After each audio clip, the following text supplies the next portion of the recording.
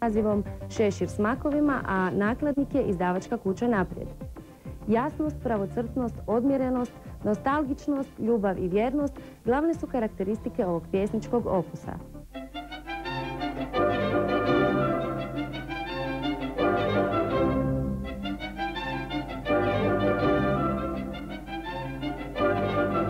To je moja deveta zbirka poezije, a zbirka se objavi onda kad se nakupi dovoljno pjesama da ima za zbirku, ima oko stotinjak pjesama u ovoj zbirci. Pa to je lirika, ljubavna lirika, bez obzira da li se radi o ljubavi prema životinjama, prema muškarcu, prema unuku. Ljubavna lirika. Pa mislim